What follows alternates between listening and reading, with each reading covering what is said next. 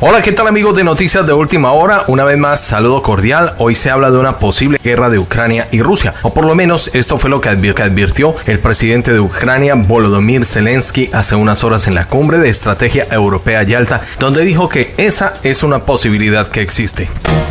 La OTAN continúa con provocaciones cerca de las fronteras con Rusia y Rusia dio vía libre para ejercicios a gran escala con Bielorrusia en el mar Báltico. Austria denuncia la violación de su espacio aéreo por un avión de la OTAN. Se cumplen 20 años de los atentados del 11 de septiembre en Estados Unidos. Y Joe Biden esgrime palabras en este nuevo aniversario recordado por los Estados Unidos y el mundo. En Nueva York han dado comienzo este sábado a la ceremonia solemne en memoria de las personas que salieron afectadas de estas acciones el 11 de septiembre del 2001 con motivo de su vigésimo aniversario. America and the world commemorate you and your loved ones, the pieces of your soul.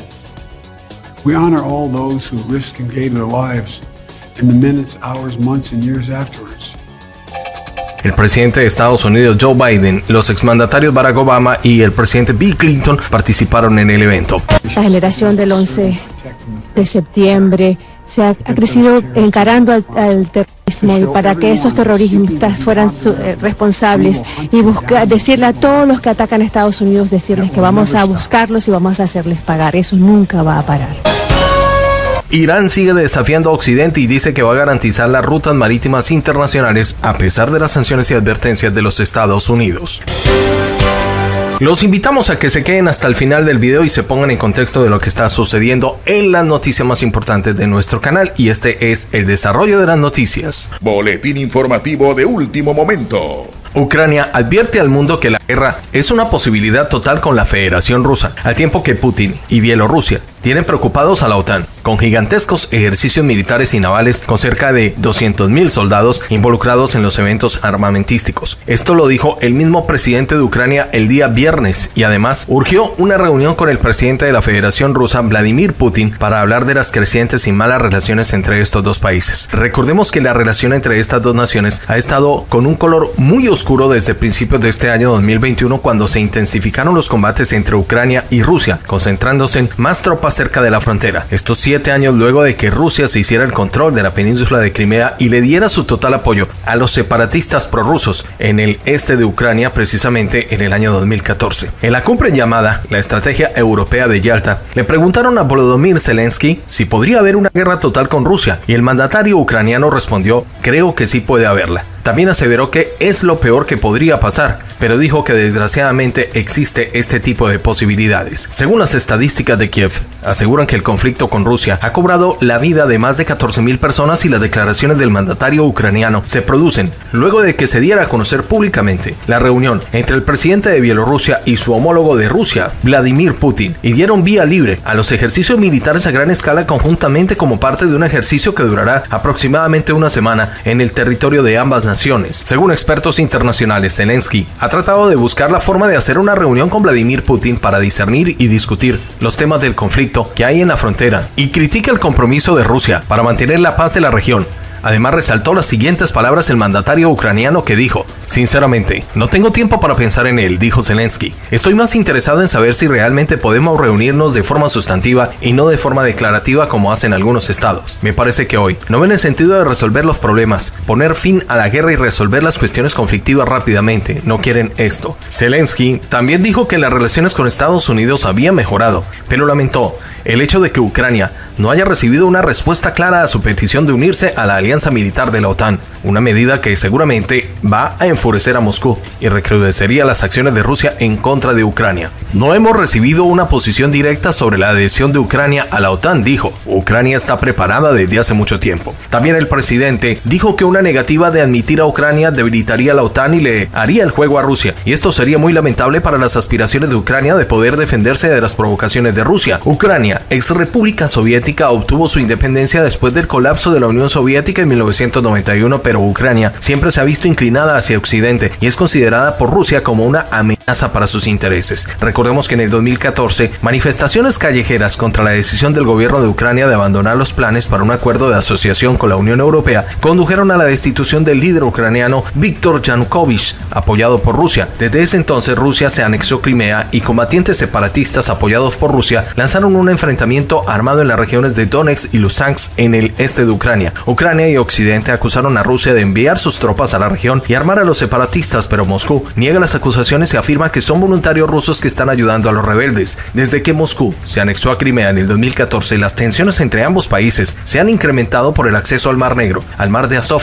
que rodean la península, y tanto Moscú como Kiev han intentado y han aumentado su presencia militar en la zona. La zona entre el Mar Negro y el Mar de Azov, donde ocurrió la última confrontación, es un laberinto de las fronteras disputadas y derechos en disputa para tener acceso en el estrecho de Kerch. Después de que Rusia, a través de Moscú, se anexó Crimea, Rusia reclamó las aguas territoriales frente a la costa de la península, lo que Ucrania no reconoce. El puente de Kerch, donde Rusia detuvo las embarcaciones ucranianas, unen a Rusia continental con Crimea y fue construido por Moscú a principios de este año a pesar de la oposición de Ucrania. Ucrania también reclama el derecho a patrullar todo el mar de Azov, como lo establece un tratado con Rusia que declara al mar como aguas territoriales compartidas entre ambos países, pero el tratado fue firmado mucho antes de que las relaciones se hielaran después de las protestas callejeras que condujeron a la destitución de Yanukovych en el 2014. Ucrania afirma que las relaciones con Rusia saltan el tratado y la ley marítima de las Naciones Unidas que deben de garantizar el acceso por el estrecho de Kerch en Rusia. Sin embargo, aseguran que los barcos ucranianos estaban maniobrando de forma peligrosa, lo cual condujo a que el estrecho fuera clausurado temporalmente por seguridad. Mientras tanto, se han dado combates en tierra donde más de 10.000 personas han cobrado la vida en las regiones de Donetsk y Luhansk, en el este de Ucrania, que han quedado bajo el control de los separatistas prorrusos desde abril de 2014. Por primera vez desde que asumió la presidencia de Ucrania, Zelensky ha amenazado a Rusia con la guerra. El presidente de Ucrania, que sigue bajando la calificación presidencial, ha llevado al líder ucraniano a comenzar a amenazar a Moscú, así lo dijo durante el discurso en el foro Yes Brainstorming. El líder ucraniano de repente comenzó a amenazar a Rusia con la guerra. La declaración por extraño que parezca, sonó después de que Ucrania anunciara en pleno la disposición de las Armadas de Ucrania para comenzar el asalto a Donetsk y Lugansk. En la declaración de Zelensky podría ver la advertencia a Rusia para que no interfiera en la situación. Si hay una escalada poderosa por parte de Rusia, esto es lo peor que puede pasar. Desafortunadamente existe la posibilidad. Creo que este será el mayor error de la Federación de Rusia después de que esto nunca habrá un vecindario entre Rusia, Ucrania y Bielorrusia, afirmó Zelensky. Los expertos señalan que las advertencias de Ucrania contra Rusia son completamente inaceptables. Además, hoy en día, cientos y miles de ciudadanos de la Federación de Rusia en Donbass y por lo tanto Rusia también puede reprimir cualquier agresión de las Fuerzas Armadas de Ucrania, obviamente frenando a Kiev de una ofensiva a gran escala en Donbass. El Kremlin, por su parte, ya reaccionó a la declaración de Volodymyr Zelensky señalando que lamenta las palabras del líder ucraniano sobre la guerra entre Ucrania y Rusia. Recordemos que Ucrania ha transferido sus tropas a la frontera de Bielorrusia. Hace unos días se encontraron tanques y vehículos blindados de las Fuerzas Armadas de Ucrania en la frontera este en Belarus y Ucrania. Tanto la parte bielorrusa como la Ucrania proporcionan información al respecto. El motivo del despliegue del grupo de fuerzas está asociado a los ejercicios militares oeste 2021 que comenzaron hace un día. Las acciones del ejército ucraniano causan una gran preocupación ya que no están realizando maniobras en la parte sur de la vecina Bielorrusia. Además, según el plan de los ejercicios militares, las fuerzas bielorrusas y rusas actúan contra un enemigo condicional en la dirección occidental sin afectar la dirección sur, según Aviaprom. Anteriormente se supo que la OTAN estaba preparando serias provocaciones y dadas las relaciones aliadas entre Ucrania y la Alianza Atlántico Norte, los expertos creen que las acciones de Kiev tienen como objetivo intensificar la escalada. El primer día de los ejercicios militares a gran escala oeste 2021 que comenzaron, la OTAN ya había realizado una provocación en particular. No solamente se vieron aviones de reconocimiento, sino que también aviones de combate de los países de la alianza cerca de la frontera de Bielorrusia y Rusia. La OTAN, por eso ya es eh, noticia a través de medios internacionales, fue a las provocaciones de los ejercicios West 2021. Los ejercicios militares a gran escala, Zapat 2021, 21 que comenzaron hace un día llamaron de inmediato la atención de la Alianza Atlántico Norte. Además del reconocimiento continuo en las fronteras de Bielorrusia y Rusia, la OTAN decidió apostar por provocaciones muy serias en contra de Rusia. Enviaron aviones a las áreas donde se despliegan los sistemas de defensa aérea. Además, dado el tipo de aviones posible que la alianza intente influir en los sistemas de misiles antiaéreos desplegados en el territorio Bielorrusia y Rusia con medios de guerra electrónica. En las imágenes que presenta Avia.pro se ven las rutas de los aviones de la OTAN, la composición de la aviación según la información y que no ha sido confirmada. También se ven aviones de combate de la Alianza Atlántico Norte cerca de las fronteras de Bielorrusia, que como se supone podría simular arremetidas a las posiciones de los militares bielorrusos y rusos. Anteriormente existía la preocupación de que Polonia y Lituania pudieran usar drones para saltar la frontera de Bielorrusia con el fin de desacreditar los ejercicios militares o de lanzar globos para interrumpir los vuelos militares como parte de los ejercicios en curso, teniendo en cuenta que solamente pasado un día desde el inicio de los eventos armamentísticos. La situación ya está seriamente calentada por los países de la OTAN y Estados Unidos. Cabría esperar que esto pueda cambiar de nivel en los próximos días, dicen especialistas que publican sus comentarios a través de avia.pro y estaremos nosotros muy al tanto de esta situación. Washington revela en las últimas horas el número de estadounidenses que permanecen en Afganistán. El viernes, la jefatura de prensa de Estado, eh, Yalina Porter, en cabeza dijo en una conferencia a través de los medios que según las estimaciones, Washington cree que hay alrededor de 100 estadounidenses que permanecen en Afganistán. Porter también señala que es difícil determinar el número exacto de ciudadanos que todavía hay en el país asiático, ya que algunas personas decidieron cambiar su opinión en el último minuto. Además, subraya que la situación sobre el terreno es totalmente inestable para poder ir y trasladar a los estadounidenses hacia los Estados Unidos. Estas son las noticias más importantes del momento. Bueno, en las últimas horas se escuchó una manifestación mundial por parte de Austria en donde pues está rechazando la forma en la que un avión de combate de la OTAN ingresó a cielos en el espacio aéreo de Austria. El conductor que va en la dirección opuesta, dice el país, denuncia la peor violación de su espacio aéreo en 20 años por un avión de la OTAN. La aeronave en el lago Artsy cerca de Salzburgo a una altitud de mil metros en lugar de los mil metros que son los permitidos. Eh, esto pues obviamente Austria lo puso en conocimiento de las autoridades y de la propia OTAN.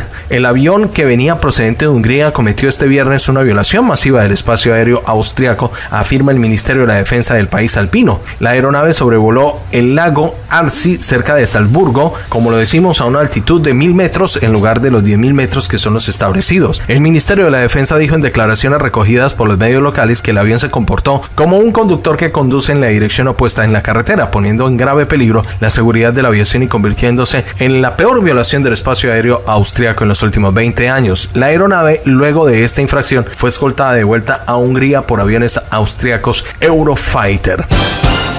Avanzamos con mayor información. El presidente de los Estados Unidos, Joe Biden, este viernes eh, llamó a la unidad del país y dejar atrás el miedo en un mensaje grabado en un video con motivo del vigésimo aniversario de los atentados del 11 de septiembre que se conmemoraron este sábado. Para mi lección principal el 11 de septiembre del 2001 es cuando somos más vulnerables en el tire y afloje que supone todo aquello que nos hace humanos en la batalla por el alma de Estados Unidos. La unidad es nuestra mayor fortaleza, dijo Biden en un video publicado en su cuenta oficial de Twitter. No debemos de tener miedo, subrayó el mandatario. Vamos a cambiar de información, muchísimas atención porque Irán vuelve a desafiar a los Estados Unidos y dijo que no teme a las advertencias de Oriente y que va a continuar eh, resguardando la seguridad marítima de sus buques a nivel internacional. La página Hispan TV señala la siguiente información. Muchísima atención amigos de Noticias de Última Hora. La principal misión de la Armada iraní es proveer seguridad de las rutas económicas de Irán en las profundidades de las aguas internacionales. Así lo precisó este sábado el contraalmirante Saram Iraní, comandante de la Fuerza Naval del Ejército del país persa, destacando que Irán es el único país de la región que lleva a cabo de forma independiente la misión bajo sanciones y advertencias y que ha seguido este importante misión desde la época de la defensa sagrada. Habla de la guerra impuesta por Irak en 1980 hasta el 88, hasta hoy, y la seguiremos en el futuro, dice Irán. Me enorgullece anunciar la flota operativa de la Armada del Ejército de la República Islámica de Irán, compuesta por el destructor iraní Sahan y el buque logístico Makram,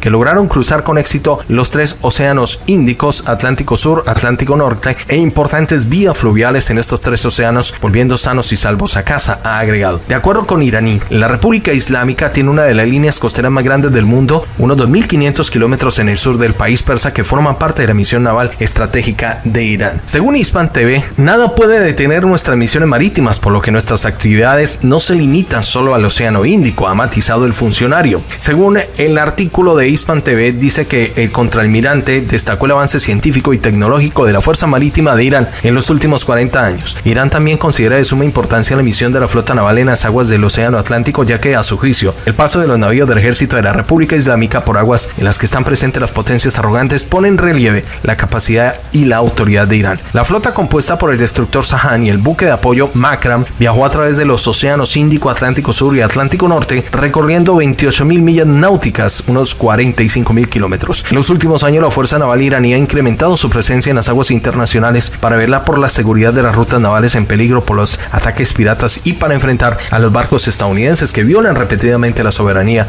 de las aguas jurisdiccionales de Irán, especialmente en el Golfo Pérsico, según lo reseña Hispan TV. Llegamos a la parte final de nuestro video, amigos, los invitamos si son nuevos a suscribirse al canal, a que nos dejen su comentario, activar la campanita roja de notificaciones y a ustedes mil gracias por su audiencia, por el apoyo a nuestro canal. Nos escuchamos en el nos escuchamos en el próximo contenido. Un abrazo, bendiciones para todos.